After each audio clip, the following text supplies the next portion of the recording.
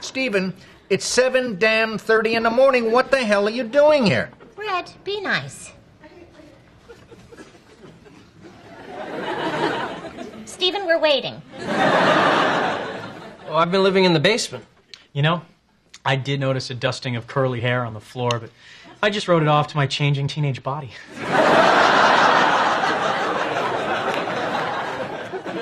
I moved back in. when My dad got transferred.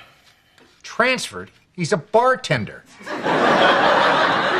Where'd he get transferred to? The jukebox? You know, Red, if it's cool, I'd kind of rather not talk about it. Well, Steven, it's important to get these things out in the open. Kitty, let him do what's natural and keep his feelings bottled up. a boy. Well, welcome back, Steven. You know, maybe we can spruce up your old room since I decided to redo the basement. What? You're redoing the basement? Well, honey, no one uses it.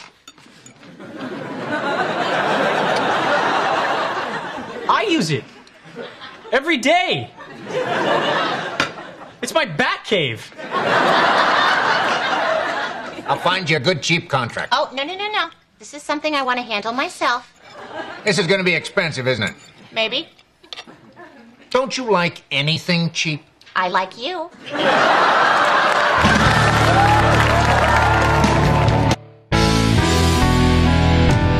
Yeah, I'm gonna miss it down here. A lot of good times. Broke my foot climbing out of this dryer.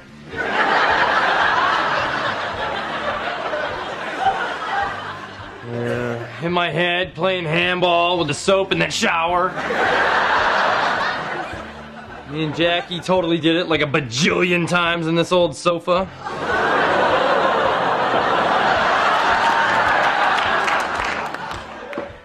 Michael, that's private. I got news for you. It wasn't that private. Oh my god! That is the biggest spider I have ever seen. I think it had a rat in its mouth. oh. Okay. I think maybe the basement isn't the place for me after all. Oh, you know what, Mom? I think you might be right. I mean, not only is it bug infested down here, but in all honesty, I think it might be haunted. Get out!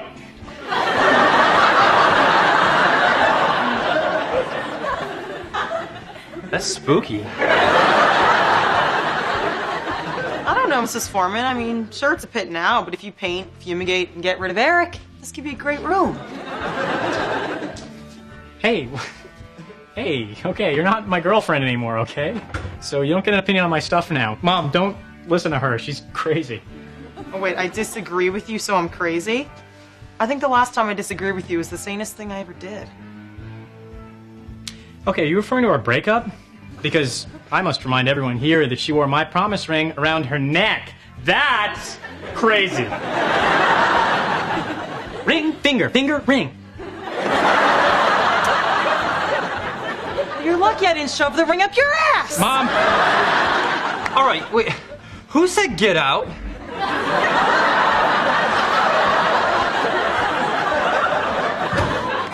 Anyway, Mrs. Forman, we have a bunch of decorating magazines at home. I'll bring them over. Well, thank you, Donna. And I think that ring looked nice around your neck. Donna, what the hell? What, we're not going out anymore, so you don't like my basement? Well, I guess now that I'm an ex girlfriend, I'm free to tell the truth. Free at last! Free at last! Woo!